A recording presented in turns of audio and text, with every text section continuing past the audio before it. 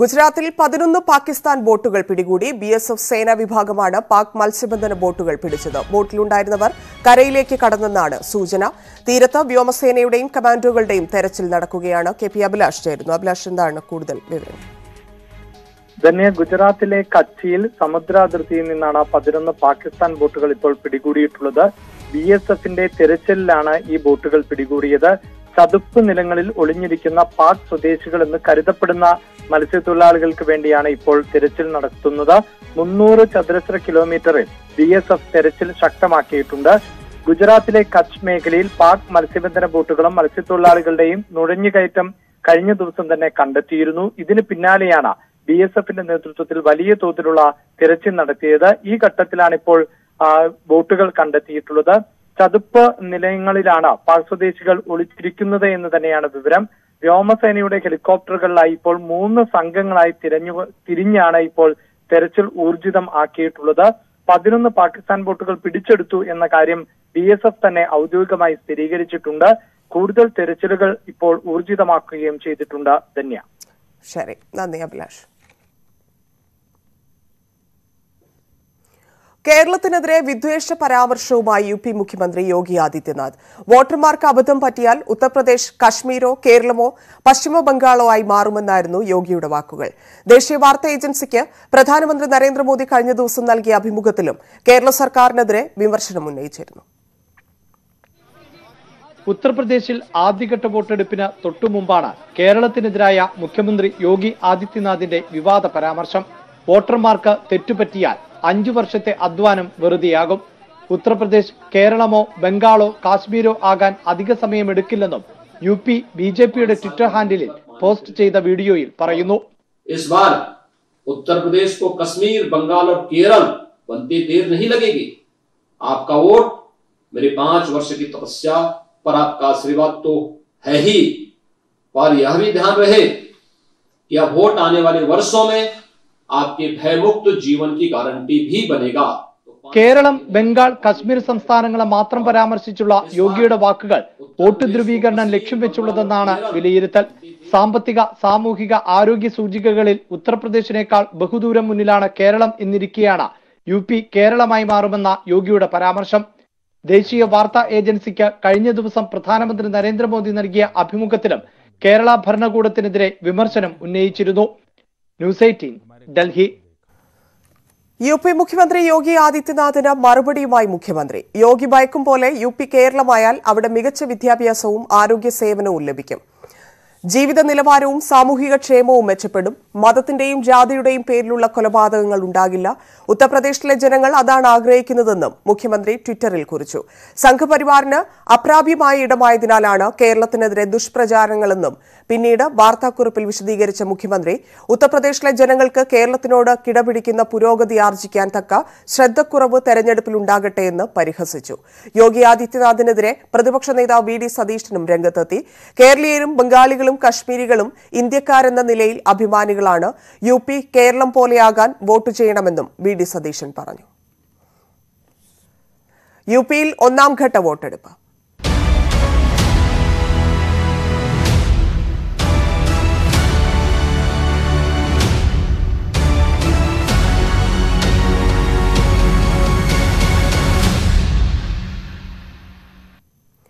ഉത്തർപ്രദേശ് നിയമസഭാ തെരഞ്ഞെടുപ്പിന്റെ ആദ്യഘട്ട വോട്ടെടുപ്പ് പൂർത്തിയായി. അറുപത് ശതമാനത്തിന് മുകളിലാണ് പോളിംഗ്. പടിഞ്ഞാറൻ യു പിയിലെ പതിനൊന്ന് ജില്ലകളിലായി അൻപത്തിയെട്ട് മണ്ഡലങ്ങളാണ് വിധിയെഴുതിയത്. കർശന കോവിഡ് നിയന്ത്രണങ്ങളോടെയാണ് വോട്ടെടുപ്പ് പൂർത്തിയായത്. സുരക്ഷാ ക്രമീകരണങ്ങളുടെ ഭാഗമായി നൂറ്റി ഇരുപത്തിയൊൻപത് കമ്പനി കേന്ദ്രസേനയെ വിന്യസിച്ചിട്ടുണ്ട്.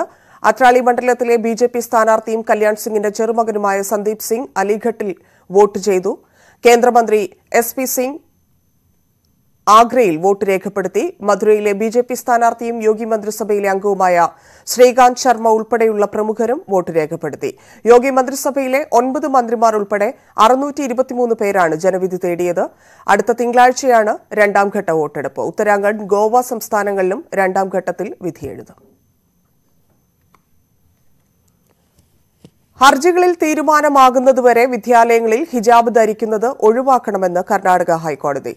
വിഷയത്തിൽ അധികം വൈകാതെ വിധി പ്രസ്താവിക്കുമെന്നും കോടതി വ്യക്തമാക്കി. വാദം നാളെയും തുടരും. അതേസമയം ഹിജാബ് വിവാദം അടിയന്തരമായി പരിഗണിക്കണമെന്ന ആവശ്യം സുപ്രീംകോടതി നിരസിച്ചു. ഹിജാബ് വിഷയത്തിൽ അധികം വൈകാതെ വിധി പ്രസ്താവിക്കുമെന്ന് കർണാടക ഹൈക്കോടതി ചീഫ് ജസ്റ്റിസ് അധ്യക്ഷനായ ബെഞ്ച് വ്യക്തമാക്കി. ശിരോവസ്ത്രം ധരിക്കുന്നത് ആർട്ടിക്കിൾ ഇരുപത്തിയഞ്ച് പ്രകാരം മൗലിക അവകാശത്തിൽ വരുമോ എന്ന വിഷയം പരിശോധിക്കേണ്ടതുണ്ട്. ശിരോവസ്ത്രം ധരിക്കുന്നത് അനിവാര്യമായ മതപരമായ ആചാരത്തിന്റെ ഭാഗമാണോ എന്നതാണ് പ്രധാനം. സമാധാനം പുനഃസ്ഥാപിക്കുകയാണ് വേണ്ടത്. വിഷയത്തിൽ തീരുമാനമാകുന്നതുവരെ മതപരമായ വസ്ത്രങ്ങൾ ധരിക്കുന്നത് ഒഴിവാക്കണമെന്നും കോടതി വ്യക്തമാക്കി. ഹിജാബ് വിവാദം അടിയന്തരമായി പരിഗണിക്കണമെന്ന ആവശ്യം സുപ്രീം കോടതി നിരസിച്ചു. കർണാടക ഹൈക്കോടതി അടിയന്തര സ്വഭാവത്തോടെ വിഷയം പരിഗണിക്കുന്നുണ്ടെന്ന് chief justice N V Ramana പറഞ്ഞു. മുതിർന്ന അഭിഭാഷകൻ കപിൽ സിബലാണ് ഹിജാബ് വിഷയം സുപ്രീം കോടതിയുടെ ശ്രദ്ധയിൽപ്പെടുത്തിയത്. ഈ ഘട്ടത്തിൽ സുപ്രീം കോടതി എടുത്തുചാടി പരിശോധിക്കുന്നത് യുക്തമല്ലെന്നും ചീഫ് ജസ്റ്റിസ് വ്യക്തമാക്കി. പെൺകുട്ടികൾക്ക് നേരെ കല്ലെറിയുന്നുവെന്നും സ്കൂളുകൾ അടച്ചിട്ടുവെന്നും സിബൽ ചൂണ്ടിക്കാട്ടി. ശബരിമല കേസ് അടക്കം പരിഗണിക്കുന്ന ഒൻപതംഗ ബെഞ്ചിന് ഹിജാബ് വിഷയം വിടണമെന്നും കപിൽ സിബൽ ആവശ്യപ്പെട്ടു. News eighteen Delhi. കർണാടകയിലെ ഹിജാബ് വിവാദത്തിൽ പ്രതികരണവുമായി സമസ്ത എ പി വിഭാഗം. ഹിജാബ് വിരുദ്ധ നീക്കം വർഗീയ ധ്രുവീകരണം ഉണ്ടാക്കാനാണ് വസ്ത്ര സ്വാതന്ത്ര്യത്തെ അപരവൽക്കരിക്കാനാണ് നീക്കമെന്നും എ പി വിഭാഗം അഭിപ്രായപ്പെട്ടു. ഇന്ത്യയുടെ നാനാത്വത്തിൽ ഏകത്വം ഉയർത്തിപ്പിടിക്കണമെന്നും സമാധാനം ഉറപ്പാക്കേണ്ടത് സർക്കാർ ചുമതലയാണെന്നും സമസ്ത എ പി വിഭാഗം. കാക്കനാട് മയക്കുമരുന്ന് കേസിൽ നാളെ ക്രൈംബ്രാഞ്ച് കുറ്റപത്രം സമർപ്പിക്കും. കേസിലാകെ ഇരുപത്തിയഞ്ച് പ്രതികളാണുള്ളത്. അറസ്റ്റിലായ പത്തൊൻപത് പേർക്കെതിരെയാണ് ക്രൈംബ്രാഞ്ച് കുറ്റപത്രം സമർപ്പിക്കുക. ആഡംബരക്കാരിൽ ആക്രമണകാരികളായ വളർത്തുനായ്ക്കളെയും കൂട്ടി കോടികളുടെ ലഹരിമരുന്ന് കടത്തിയ കേസിലാണ് ക്രൈംബ്രാഞ്ച് കുറ്റപത്രം സമർപ്പിക്കുന്നത്. സ്ത്രീകൾ ഉൾപ്പെടെയുള്ളവർ കള്ളക്കടത്ത് സംഘത്തിലുണ്ടായിരുന്നു. മുഹമ്മദ് ഫവാസാണ് കേസിലെ ഒന്നാം പ്രതി. കേസിൽ അറസ്റ്റിലായ പത്തൊൻപത് പേരും ഇപ്പോഴും ജയിലിലാണ്. ഒളിവിലുള്ളവർക്കായി ലുക്കൌട്ട് നോട്ടീസ് പുറപ്പെടുവിച്ചിട്ടുണ്ട്. മൂന്ന് പ്രതികൾ വിദേശത്തേക്ക് കടന്നതായി ക്രൈംബ്രാഞ്ച് അറിയിച്ചു. ബിലാൽ ലജ് ഷാറുഖ് സഹൽ മുഹമ്മദ് ഫൈസൽ ഫവാസ് എന്നിവരാണ് വിദേശത്തേക്ക് കടന്നിട്ടുള്ളത്. ഇവർക്കായി എമിഗ്രേഷൻ ലുക്കൌട്ട് സർക്കുലറും പുറപ്പെടുവിച്ചു. നാല് കോടിയോളം രൂപയുടെ എം ഡി എം എ വിൽപ്പനയ്ക്കെത്തിച്ച കേസിലാണ് കുറ്റപത്രം സമർപ്പിക്കുന്നത്. ചെന്നൈ സ്വദേശിയായ ഷംസുദ്ദീൻ സൈറ്റിൽ നിന്നാണ് പ്രതികൾ രാസലഹരി മരുന്ന് വാങ്ങിയത്. കേസിൽ ഇയാൾ ഇരുപത്തിയഞ്ചാം പ്രതിയാണ്. കൊച്ചിയിൽ അറസ്റ്റ് നടന്ന ഉടൻ കുടുംബവുമായി ഇയാൾ ഒളിവിൽ പോയി. ലഹരിമരുന്ന് ശൃംഖലയുടെ മുഖ്യ കണ്ണിയായ ഇയാൾക്കു വേണ്ടി അന്വേഷണ സംഘം ഇപ്പോഴും തിരച്ചിൽ തുടരുകയാണ്. പതിനഞ്ച് ലക്ഷം രൂപ ഷംസുദ്ദീൻ സൈറ്റിന്റെ അക്കൗണ്ടിലേക്ക് പ്രതികൾ നേരിട്ട് കൈമാറിയിട്ടുണ്ട്. അതല്ലാതെയും വലിയ തുക പലതവണയായി നൽകിയിട്ടുണ്ടെന്നും പ്രതികൾ ക്രൈംബ്രാഞ്ചിനോട് സമ്മതിച്ചിട്ടുണ്ട്. എറണാകുളം സെഷൻസ് കോടതിയിലാണ് കുറ്റപത്രം സമർപ്പിക്കുന്നത്. News eighteen Kochi. സംസ്ഥാനത്ത് ഇന്ന് പതിനെണ്ണായിരത്തി നാനൂറ്റി ഇരുപത് പേർക്ക് കോവിഡ് സ്ഥിരീകരിച്ചു. ടെസ്റ്റ് പോസിറ്റിവിറ്റി നിരക്ക് ഇരുപത്തിരണ്ട് പോയിന്റ് മൂന്ന് ശതമാനമാണ്. ഇരുപത് മരണവും സ്ഥിരീകരിച്ചു. രേഖകൾ വൈകിയ നൂറ്റി അറുപത്തെട്ട് മരണവും അപ്പീൽ നൽകിയ നൂറ്റി അൻപത്തിമൂന്ന് മരണവും റിപ്പോർട്ട് ചെയ്തതോടെ ആകെ മരണസംഖ്യ അറുപത്തി ഓരായിരത്തി ഒരുന്നൂറ്റി മുപ്പത്തിനാലായി നാൽപ്പത്തി മൂവായിരത്തി ഇരുന്നൂറ്റി എൺപത്തി ആറ് പേർക്കാണ് ഇന്ന് രോഗം ഭേദമായത്. വിദേശത്തു നിന്നെത്തുന്നവർക്കുള്ള കോവിഡ് മാർഗനിർദ്ദേശങ്ങൾ കേന്ദ്ര സർക്കാർ പുതുക്കി. രാജ്യങ്ങളെ അപകട സാധ്യതയുള്ളവ എന്ന് ലിസ്റ്റ് ചെയ്യുന്നത് പിൻവലിച്ചു. ഏഴ് ദിവസം ക്വാറന്റൈൻ കഴിയുന്നതും ഒഴിവാക്കി. പകരം പതിനാല് ദിവസം സ്വയം നിരീക്ഷണം നടത്താനാണ് നിർദ്ദേശം. ലക്ഷണങ്ങൾ കണ്ടാൽ കോവിഡ് പരിശോധന നടത്തണം. ഈ മാസം പതിനാല് മുതൽ പുതിയ മാർഗനിർദ്ദേശങ്ങൾ പ്രാബല്യത്തിൽ വരും. വിദേശത്തു നിന്നെത്തുന്നവർ എയർ സുവിധ പോർട്ടലിൽ സ്വയം സാക്ഷിപത്രം സമർപ്പിക്കണം. നാല് ദിവസത്തെ യാത്ര സംബന്ധിച്ച കാര്യങ്ങളും എഴുപത്തിരണ്ട് മണിക്കൂറിനുള്ളിൽ പരിശോധിച്ച R T P C R negative certificate ഉൾപ്പെടെയുള്ള വിവരങ്ങളും സമർപ്പിക്കണം. ഇടവേളയ്ക്ക് ശേഷം വാർത്തകൾ തുടരും. കൂടുതൽ വാർത്തകൾക്ക് Malayalam dot news eighteen dot com.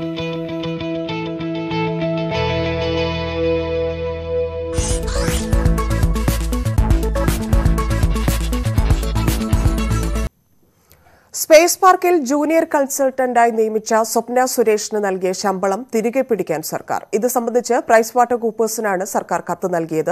P W സിയാണ് നിയമനത്തിനായി സ്വപ്നയെ തെരഞ്ഞെടുത്തതെന്ന് Kerala state information technology infrastructure limited അധികൃതർ അയച്ച കത്തിൽ ചൂണ്ടിക്കാട്ടുന്നു. തുക തിരിച്ചടയ്ക്കാതെ കൺസൾട്ടൻസി ഫീസായി പി ഡബ്ല്യു സിക്ക് നൽകാനുള്ള ഒരു കോടി രൂപ നൽകേണ്ടതില്ലെന്നാണ് സർക്കാർ തീരുമാനം. സ്പേസ് പാർക്കിൽ സ്വപ്നയുടെ ശമ്പളമായി പത്തൊൻപത് ലക്ഷത്തി ആറായിരത്തി എഴുന്നൂറ്റി മുപ്പത് രൂപയാണ് പി ഡബ്ല്യു സിക്ക് അനുവദിച്ചത്. ഇതിൽ ജി എസ് ടി ഒഴിവാക്കിയ തുകയായ പതിനാറ് ലക്ഷത്തി പതിനയ്യായിരത്തി എണ്ണൂറ്റി എഴുപത്തിമൂന്ന് രൂപ പി ഡബ്ല്യു സിയിൽ നിന്ന് ഈടാക്കാൻ K S I T I L M D അടിയന്തരമായി നടപടി കൈക്കൊള്ളണമെന്ന് ധനകാര്യ പരിശോധനാ വിഭാഗം റിപ്പോർട്ട് നൽകിയിരുന്നു. പി ഡബ്ല്യു സിയിൽ നിന്ന് തുക ഈടാക്കാൻ കഴിയാതെ വന്നാൽ അന്നത്തെ ഐ ടി സെക്രട്ടറിയും K S I T I L ചെയർമാനുമായ ശിവശങ്കർ ഐ എ എസ് അന്നത്തെ M D C Jayasankar Prasad special ഓഫീസറായിരുന്ന Santhosh Kurup എന്നിവരിൽ നിന്ന് തുല്യമായി തുക ഈടാക്കണമെന്നുമായിരുന്നു ശുപാർശ.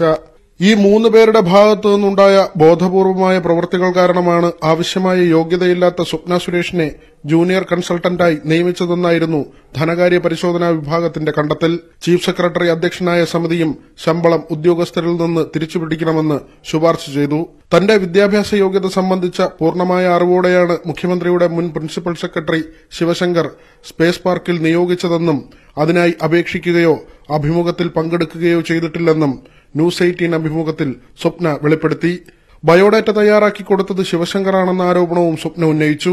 തന്നെ നിയമിക്കാൻ സുരക്ഷാ പ്രശ്നമുണ്ടെന്ന് ചൂണ്ടിക്കാട്ടിയ കെ പി എം ജി എന്ന കൺസൾട്ടൻസിയെ മാറ്റി പി ഡബ്ല്യു സിയെ കൊണ്ടുവന്നാണ് ശിവശങ്കർ നിയമനം നടത്തിയതെന്നും സ്വപ്ന വെളിപ്പെടുത്തിയിരുന്നു. പ്രതിമാസം മൂന്ന് ലക്ഷത്തി പതിനെണ്ണായിരം രൂപ ശമ്പളത്തിലായിരുന്നു സ്വപ്നയുടെ നിയമനം. News eighteen Thiruvananthapuram. എം ശിവശങ്കറിനെതിരെ പുതിയ വെളിപ്പെടുത്തലുമായി സ്വപ്ന സുരേഷ്. വ്യാജ പീഡന പരാതി കേസിൽ ചോദ്യം ചെയ്യൽ നേരിടാൻ ശിവശങ്കർ സഹായിച്ചിരുന്നു. സത്യം തുറന്നു പറഞ്ഞതിനാലാണ് കേസിൽ ക്രൈംബ്രാഞ്ച് വേഗം കൂട്ടുന്നതെന്നും സ്വപ്ന പറഞ്ഞു. എയർ ഇന്ത്യ ജീവനക്കാരനെതിരെ കള്ളപ്പരാതി നൽകിയെന്ന കേസിൽ സ്വപ്നയെ രണ്ടാം പ്രതിയാക്കി അന്വേഷണ സംഘം കുറ്റപത്രം സമർപ്പിച്ചതിന് പിന്നാലെയാണ് സ്വപ്നയുടെ പ്രതികരണം. എയർ ഇന്ത്യ ജീവനക്കാരനായ സിബുവിനെതിരെയുള്ള പീഡന പരാതി വ്യാജമെന്ന് കണ്ടെത്തിയ കേസിൽ ജുഡീഷ്യൽ ഫസ്റ്റ് ക്ലാസ് മജിസ്ട്രേറ്റ് കോടതിയിൽ ക്രൈംബ്രാഞ്ച് കുറ്റപത്രം സമർപ്പിച്ചതിന് പിന്നാലെയാണ് സ്വപ്ന സുരേഷിന്റെ പുതിയ വെളിപ്പെടുത്തൽ. ചോദ്യം ചെയ്യൽ നേരിടുന്നതിൽ ശിവശങ്കർ തന്നെ സഹായിച്ചിരുന്നു. ക്രൈംബ്രാഞ്ച് ഉദ്യോഗസ്ഥരുമായി ശിവശങ്കർ സംസാരിച്ചിരുന്നുവെന്നും അവർ പറഞ്ഞു. ഈ കേസിന്റെ ഇന്റർഗേഷൻ സമയത്ത് അദ്ദേഹമാണ് എന്നെ സഹായിക്കാൻ വേണ്ടിയിട്ട് ഈ ക്രൈംബ്രാഞ്ചും ഒക്കെ ആയിട്ട് സംസാരിച്ചിരുന്നു തുടക്കത്തിൽ അപ്പോൾ ഇപ്പോ പെട്ടെന്നൊരു ചാർജ് ഷീറ്റ് പെട്ടെന്ന് പറയുമ്പോഴത്തേക്കും സത്യം പറയുമ്പോഴത്തേക്കും വരുന്ന ഒരു യുനോ റിയാക്ഷൻ ആയിരിക്കും. ശിവശങ്കറിന്റെ സ്വാധീനം ഉപയോഗിച്ചാണ് കേസ് നടപടികൾക്ക് വേഗം കൂടിയത്. ഇനിയും തനിക്കെതിരെ സ്വാധീനം ഉപയോഗിച്ചുള്ള നീക്കങ്ങൾ ഉണ്ടായേക്കാം. പോലീസ് അന്വേഷണം നല്ല രീതിയിൽ നടക്കുന്നു എന്ന് ഇപ്പോൾ പറയാനാവില്ലെന്നും സ്വപ്ന പ്രതികരിച്ചു. ടെററിസ്റ്റ് അല്ലാത്ത ഞാൻ ടെററിസ്റ്റ് ആക്ടിവിറ്റിയിൽ പ്രതിയല്ലേ? അതുകൊണ്ട് അതിലൊന്നും നോ കമന്റ്സ് പറഞ്ഞിടത്ത് വെച്ച് കാണാം. Anyway I'm suffering I'm not enjoying life like others I'm I'm suffering I'm actually down over attacked to the core അപ്പോൾ പിന്നെ that's nothing more to come Air India സാറ്റ്സിലെ സാമ്പത്തിക ക്രമക്കേടുകളെ കുറിച്ച് സിബു എയർ ഇന്ത്യ മാനേജ്മെന്റിനെയും airport അതോറിറ്റിയെയും അറിയിച്ചതിന്റെ പകയാണ് വ്യാജ പരാതിക്ക് പിന്നിലെന്നാണ് ക്രൈംബ്രാഞ്ച് കണ്ടെത്തൽ. സാറ്റ്സ് വൈസ് പ്രസിഡന്റായിരുന്ന ബിനോയ് ജേക്കബാണ് ഒന്നാം പ്രതി. സ്വപ്നയടക്കം സാറ്റ്സിലെ മറ്റ് നാല് പ്രതികൾ കള്ളപ്പരാതിക്ക് കൂട്ടുനിന്നുവെന്നാണ് കേസ്. രണ്ടായിരത്തി പതിനാറിലാണ് സിബു പരാതി നൽകിയത്. ആദ്യം വലിയതുറ പോലീസ് അന്വേഷിച്ച സിബുവിന്റെ പരാതി രണ്ടായിരത്തി പത്തൊൻപതിൽ ക്രൈംബ്രാഞ്ച് ഏറ്റെടുത്തു. ഈ മാസം പതിനഞ്ചിനകം കുറ്റപത്രം സമർപ്പിക്കണമെന്ന കോടതി നിർദ്ദേശത്തെ തുടർന്നാണ് വേഗത്തിൽ നടപടിയുണ്ടായതെന്നാണ് ഔദ്യോഗിക വിശദീകരണം. ശിവശങ്കറിനൊപ്പമാണ് സർക്കാർ എന്ന് വ്യക്തമാക്കിക്കൊണ്ടാണ് സ്വപ്ന സുരേഷിന്റെ നീക്കങ്ങൾ. സ്വർണക്കടത്ത് കേസ് വീണ്ടും ചർച്ചയാകുമ്പോൾ കേസിൽ വീണ്ടും വലിയ തുറന്നു പറച്ചിലുകളും പുതിയ നീക്കങ്ങളും ഉണ്ടാകുമെന്ന് വ്യക്തമാക്കുന്നതാണ് സ്വപ്നയുടെ വാക്കുകൾ. തിരുവനന്തപുരത്ത് നിന്നും T G Sajith news eighteen. സർക്കാർ ആർക്കൊപ്പം എന്നത് തന്റെ വിഷയമല്ലെന്ന് സ്വപ്ന സുരേഷ്. എം ശിവശങ്കറിന്റെ പുസ്തകത്തിലെ ഉള്ളടക്കത്തെ മുഖ്യമന്ത്രി പിന്തുണച്ചതിനെ കുറിച്ചുള്ള പ്രസ്താവനയോടാണ് സ്വപ്നയുടെ പ്രതികരണം. എം ശിവശങ്കറിനെ മുഖ്യമന്ത്രിക്ക് ഭയമെന്ന് പ്രതിപക്ഷ നേതാവ് വി ഡി സതീശൻ. ഭയമുള്ളതുകൊണ്ടാണ് ശിവശങ്കറിനെ ന്യായീകരിക്കുകയും പിന്തുണയ്ക്കുകയും ചെയ്യുന്നത്. സ്വർണക്കടത്ത് കേസിൽ പ്രതിയായി ജയിലിൽ കിടന്നയാളാണ് ശിവശങ്കർ.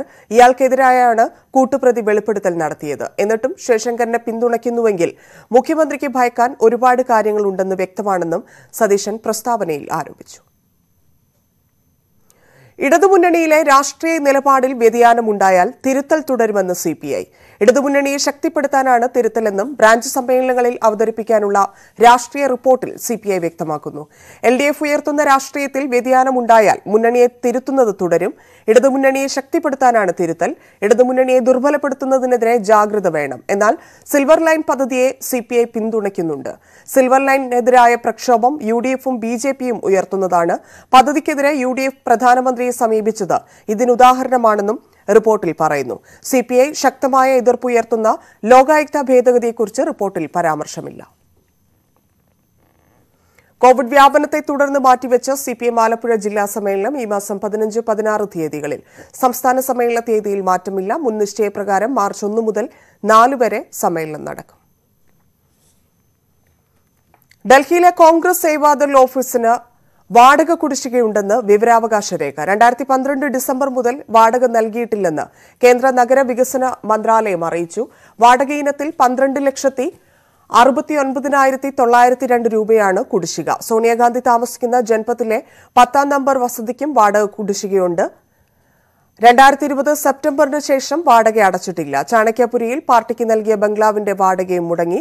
അഞ്ച് ലക്ഷത്തി ഏഴായിരത്തി തൊള്ളായിരത്തി പതിനൊന്ന് രൂപ വാടക ഇനത്തിൽ നൽകണം. ആക്ടിവിസ്റ്റ് സുജിത് പട്ടേലാണ് വിവരാകാശ നിയമപ്രകാരം വിവരങ്ങൾ തേടിയത്. അതേസമയം വാടക കുടിശ്ശിക ഇന്ന് തന്നെ അടയ്ക്കുമെന്നും വിവരം അറിഞ്ഞിരുന്നില്ലെന്നും കോൺഗ്രസ് നേതൃത്വം വ്യക്തമാക്കി. ഹൈക്കോടതി ഇടപെടലിനെ തുടർന്ന് അട്ടപ്പാടി മധു കേസിന്റെ വിചാരണ നടപടികൾ നേരത്തെയാക്കാൻ തീരുമാനം. ഈ മാസം പതിനെട്ടിന് Mannarkkad S C S T പ്രത്യേക കോടതിയിൽ കേസ് പരിഗണിക്കും. ആദ്യം മാർച്ച് ഇരുപത്തിയാറിലേക്ക് മാറ്റിവെച്ച കേസാണ് നേരത്തെയാക്കിയത്. കേസിൽ ഡിജിറ്റൽ തെളിവുകളുടെ പകർപ്പും കുറ്റപത്രവും പ്രതികൾക്ക് കൈമാറി. നാലു വർഷമായിട്ടും മധുക്കേസിൽ വിചാരണ നടപടികൾ പൂർത്തിയാകാത്തതിൽ പ്രതിഷേധം കനത്തതോടെയാണ് ഹൈക്കോടതിയുടെ ഇടപെടലുണ്ടായത്. ജനുവരി ഇരുപത്തിയഞ്ചിന് case പരിഗണിച്ചപ്പോൾ Mannarkkad S C S T പ്രത്യേക കോടതിയിൽ സ്പെഷ്യൽ പബ്ലിക് പ്രോസിക്യൂട്ടർ ഹാജരാകാത്തതിനെ കോടതി വിമർശിച്ചിരുന്നു. ഇതോടെ കേസ് മാർച്ച് ഇരുപത്തിയാറിലേക്ക് മാറ്റി. എന്നാൽ വിചാരണ വൈകുന്നതിനെതിരെ വലിയ പ്രതിഷേധമുയർന്നു. ഈ സാഹചര്യത്തിലാണ് ഹൈക്കോടതി സ്വമേധയാ ഇടപെട്ടത്. ഇതോടെ കേസ് ഫെബ്രുവരി പതിനെട്ടിന് പരിഗണിക്കാൻ വിചാരണ കോടതി തീരുമാനിച്ചു. ഇന്ന് ഡിജിറ്റൽ തെളിവുകളുടെയും കുറ്റപത്രത്തിന്റെയും പകർപ്പുകൾ പ്രതികൾക്ക് കൈമാറി. കോടതിയിൽ എത്തിയാണ് പ്രതികൾ ഇവ ഏറ്റുവാങ്ങിയത്. കേസിൽ പതിനാറ് പ്രതികളാണുള്ളത്. നിലവിലെ സ്പെഷ്യൽ പബ്ലിക് പ്രോസിക്യൂട്ടർക്ക് പകരം പുതിയ ആളുകളെ നിയമിക്കാനുള്ള നടപടികളും പുരോഗമിക്കുകയാണ്. കുടുംബം നിർദ്ദേശിച്ച പേരുകളിൽ സി രാജേന്ദ്രൻ രാജേഷ് കെ മേനോൻ എന്നിവരെ പരിഗണിക്കാനാണ് സാധ്യത. News eighteen Palakkad. പാലക്കാട് കാഞ്ഞിരപ്പുഴയിൽ വനവിഭവം ശേഖരിക്കാൻ പോയപ്പോൾ കാണാതായ ആദിവാസി യുവാവിനെ കണ്ടെത്തി. കാഞ്ഞിരപ്പുഴ പാമ്പൻതോട് ആദിവാസി കോളനിയിലെ വെള്ള കമലു ദമ്പതികളുടെ മകൻ പ്രസാദിനെയാണ് ആനമൂളിയിൽ നിന്ന് കണ്ടെത്തിയത്. ഇന്നലെ ഉച്ചയോടെ ചീനിക്കായി പറിക്കാൻ കുടുംബാംഗങ്ങളോടൊപ്പം പിരിമല വനത്തിൽ പോയപ്പോഴാണ് പ്രസാദ് കാട്ടിലകപ്പെട്ടത്. വനം വകുപ്പും പോലീസും ഫയർഫോഴ്സും സംയുക്തമായി നടത്തിയ തെരച്ചിലാണ് യുവാവിനെ കണ്ടെത്തിയത്.